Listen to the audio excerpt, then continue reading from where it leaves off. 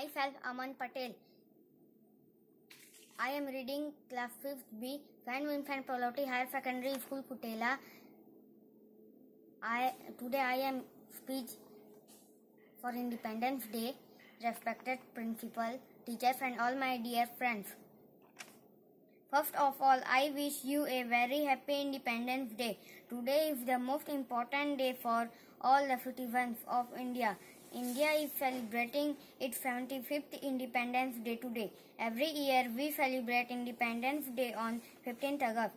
We celebrate this day with great spirit of patriotism on this day, 15th August 1947. India became independent from British rule. Thousands of brave hearts sacrificed their lives for the freedom of India. We must remember our brave freedom fighters like Mahatma Gandhi, Jawaharlal Nehru, Subhash Chandra Bose, Bhagat Singh and others on this day. Due to the sacrifice of these heroes, we are living happily in today's society.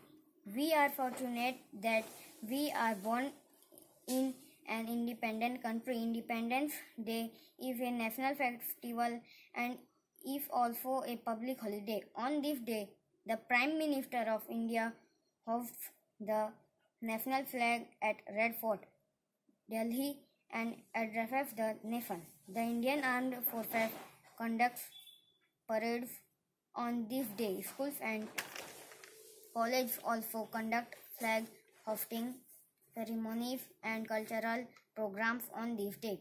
We salute the Indian flag and national anthem is sung as part of it as a citizen of India. We must fully respect our nation and faithfully perform our duties to make our country beautiful.